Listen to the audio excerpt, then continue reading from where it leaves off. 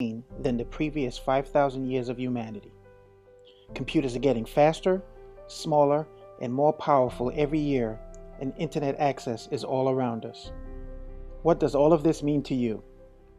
It means the power to change your world is at your fingertips. In this course, you'll learn how to visually analyze trends and patterns in a variety of U.S. lottery systems. We'll visit three different lottery games in three separate states. Each case will offer different approaches to analyzing data. We use lottery data to demonstrate Google Spreadsheets techniques and data visualization. It's like two mini courses in one. We'll answer questions like what games are good to play, when to play the games, determine frequent winning numbers, and more. Looking forward to seeing you on the subscribe side.